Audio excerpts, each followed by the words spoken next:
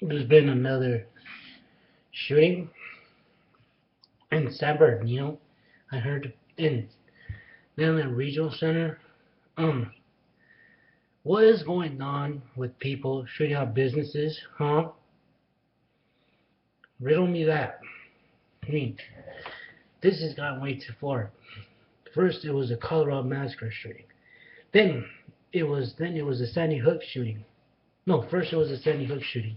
Then it was a Colorado massacre shooting. Then it was a Louisiana massacre, Louisiana theater shooting. Then it was a Nashville, ten, ten Nashville, Nashville, Tennessee theater shooting. Then, yeah, then this. Yeah, I mean, people don't know. Thanks, Caleb, for pointing this out. I mean,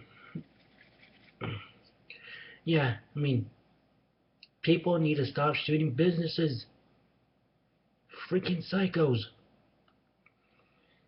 Whoever did this is a freaking psycho, you know. You know, um, um people need to stop shooting businesses.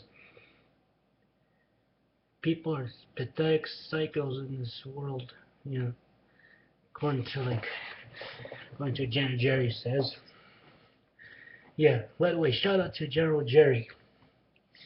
I mean, yeah. Um, shout out to like, you know, people need to start stop shooting.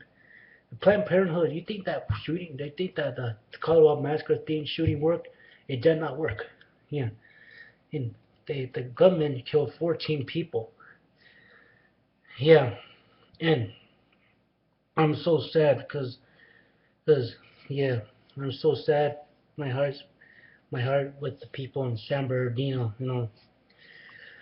Whoever did this, whoever did, whoever is Goodman, the police is gonna catch him.